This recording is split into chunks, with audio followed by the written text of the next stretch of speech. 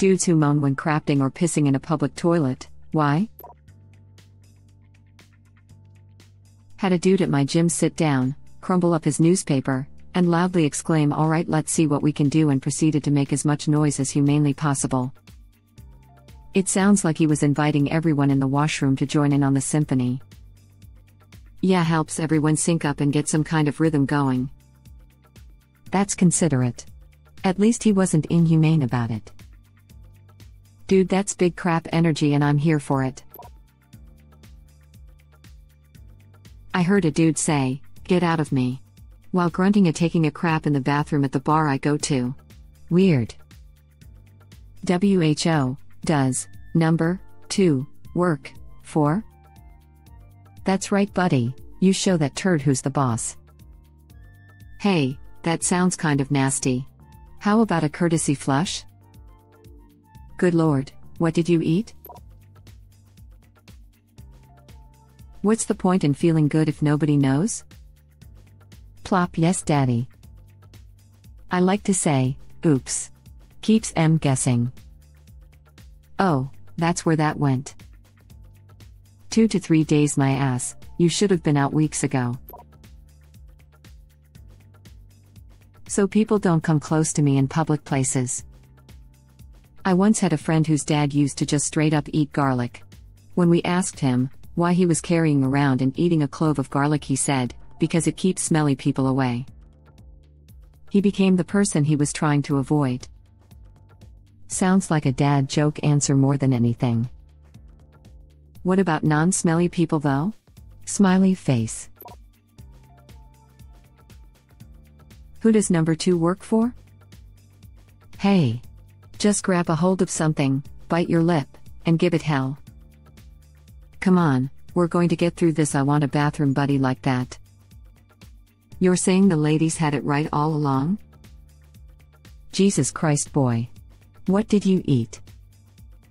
We're going to get through this. Hey, buddy, you got to relax, don't force it. You'll blow an o ring. How about a courtesy flush? People need to do this more. I've literally vomited from coworkers' poop air.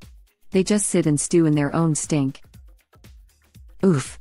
In fairness, though, for some reason it's never as bad when it's your own, same with farts. Everyone likes their own brand. The sweet smell of success. Don't get high on your own supply. We're going to get through this together. You show that turd who's boss. What did you eat? God damn it, as everyone else here noticed it was an Austin Powers reference, I am sitting here thinking it is a reference to the prisoner. Damn, I'm old.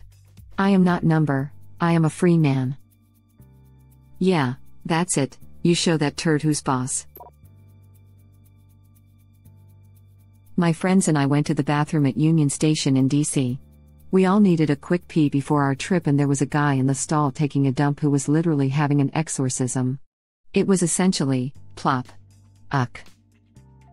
Plopped plop. Oh, sweet Jesus. Plop. Mother Mary in heaven. We started cracking up right there and then. Could have been the heroin craps. Might have been passing something truly enormous in that case. Or just IBS. Seriously. I have IBS. During flare ups, I'm known to moan, groan, and curse on the toilet. Bloating, inflammation, spastic colon, and constant pressure. I wouldn't say it's painful, but it's severely and intensely uncomfortable. Yeah, no kidding. I have Crohn's and that would be me, and when the need arises, it doesn't matter if I'm just passing through or if it's the seediest, most inconvenient toilet. I need to go at that very moment. I knew a dude years ago who had Crohn's. Whenever the boys were joking about crafting, he would always be sitting there silently with that thousand yard stare. I didn't realize until way later that he legitimately had PTSD from his Crohn's craps. Gal with Crohn's here, diagnosed last July. Turns out it took three hospital trips, losing 15 kilograms in two weeks, going every time I ate anything with insane urgency, getting intense nausea whenever I go, and vomiting grey goo every time, slipping in and out of consciousness all day every day and insane joint pains for the doctors to start realizing something might not be quite right. The third time I went to hospital, they finally did a scope, x ray, and blood tests and decided to put me on corticosteroids. I have been essentially symptom free ever since until recently. Right now, I'm only dealing with looser stools and bloating that makes me look three months pregnant 24 7, but it's manageable and they're hoping to get me on a new injectable medication that requires infusions at the hospital. Crohn's is no joke. I often get panic attacks whenever I feel like one of my symptoms might be returning. The worst part is how little is known about the condition and that there's no cure. At best, you're on medications with risky side effects your whole life, and at worst, you need most of your digestive system removed and replaced with external bags that attach to holes made in your abdomen to the point where you crap out your stomach and your butthole literally rendered a useless hole. Although, on the bright side, I guess if anal is your thing, then it's way cleaner and easier, lol. Edit. I'd like to mention that I dropped from 59 kilograms to 45 kilograms in July and I'm 174 centimeters, 5 feet 9 inches. I have since regained all my weight and even got a bit more, I'm 64 kilograms now and I'm healthier than I've ever been in that department. It wasn't easy and took a ton of monitoring calories and fine tuning my diet to the point where I'd eat the same thing for four months straight daily just because it was effective. Turns out, I had hips all along, too. Just not enough meat on them to be noticeable. Edit 2. Okay, I've had to respond to like six comments at this point. Some surgeries preserve part of the colon if possible, that's the kind I was talking about so there's still half a foot to a foot of space up there for some people. Wow, I had no idea what this was. Now I do. Thank you for sharing. Jesus Christ, I'm so sorry you had to go through all this. UC here and same. I don't care where I'm going. I just don't want to crap my pants. I was just diagnosed with UC. What does being in remission feel like for you? I have never experienced remission. I have IBS. I bear that pain in silence. This is likely given Union Station in DC. I had a Maine Coon cat that passed baseball sized poops, and this cat was drug free. Little did you know he was secretly addicted to fentanyl laced catnip? My Maine Coon died from this. That sucks, maybe it's a Maine Coon thing. I know large dogs like St. Bernards frequently die from having their intestines tie up in knots. Yeah, it actually is a common problem with the breed. They call it megacolon, which basically means the inside is larger than the hole, so it kind of collects and impacts their making it hard to pass.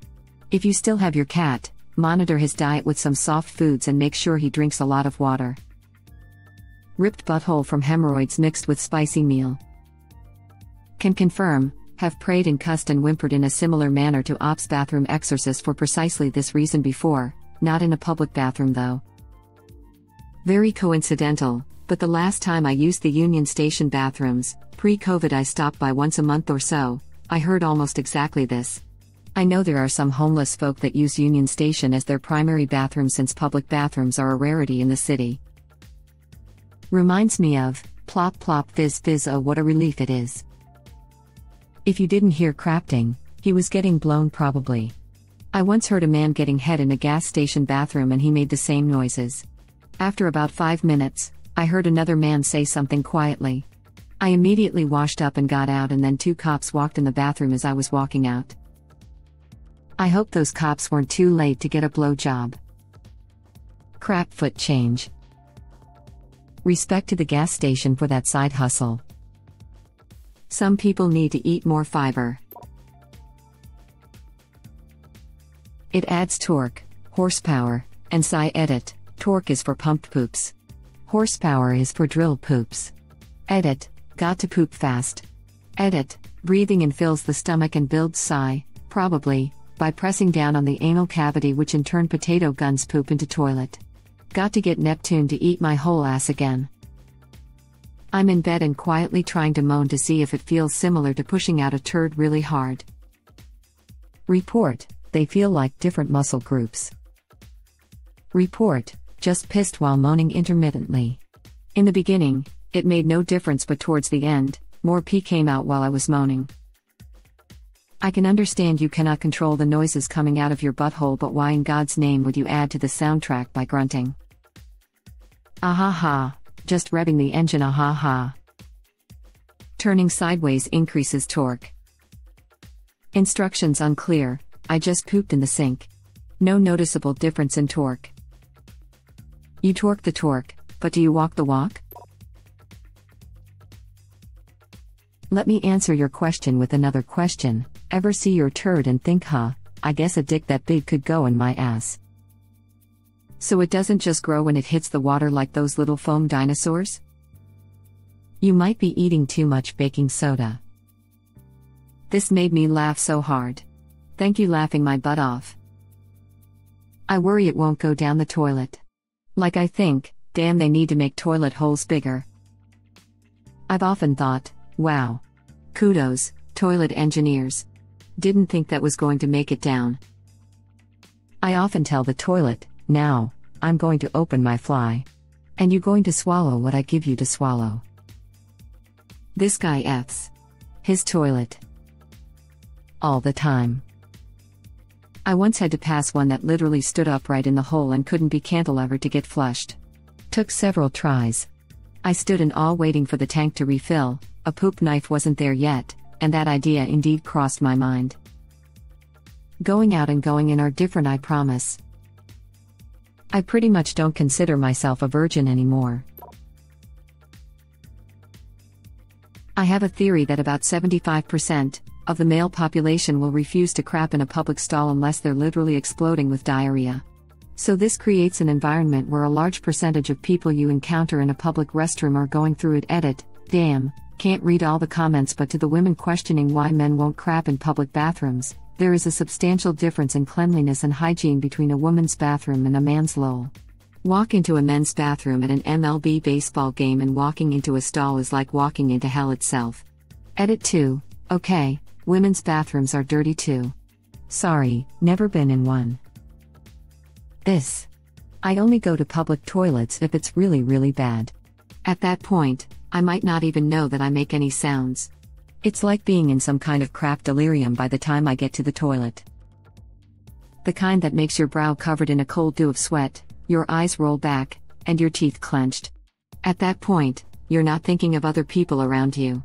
You're thinking about how you would rather be at home sounding these burning sirens of hell than partaking in the experience in a place where others might linger in the after effects of your heretical crapping bonanza. What I do is moan, scream, and bang on the cubicle door next to me. You can choose to become one with the demons of your bellowing bowels, if it helps, though this may be at the extent of your own dignity. Imagine any passersby staying to listen to your liberal crap show, taking in your scatological suffering.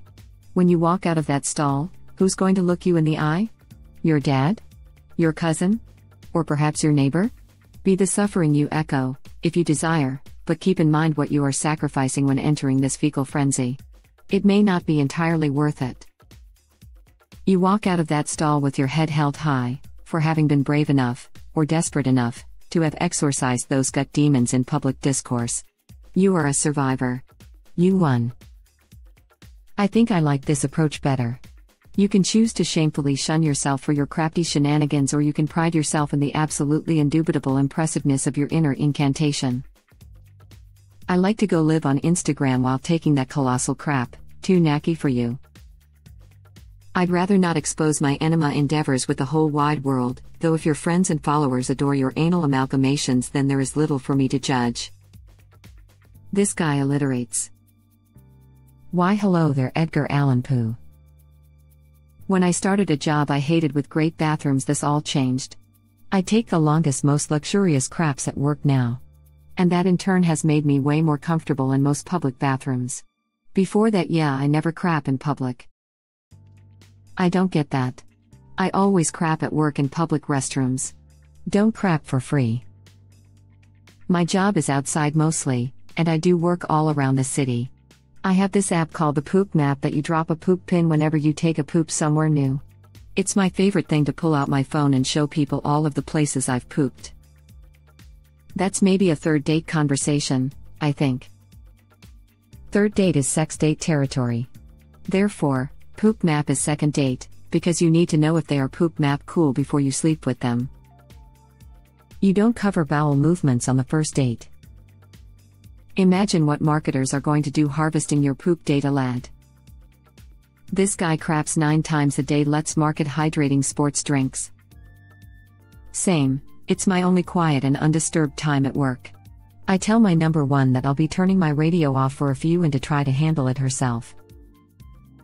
He makes a dollar, I make a dime, that's why I crap on company time. Crap rich. In my 12 years of being in school, I can count on two hands how many times I used a restroom. Not even kidding. My throne is at home. I'm not sure that I ever pooped at school grades K 12. I could count the amount of times I took a crepe at school with one hand. I had this fear that some kids would come and open the stall or stand on the next stall's toilet and look in. Thank you for watching. Please subscribe to be the first to know about Red Rabbit Reader's new videos. If you like our videos, please like them on YouTube and share them with your friends. We welcome your comments below. Press to start another of our videos.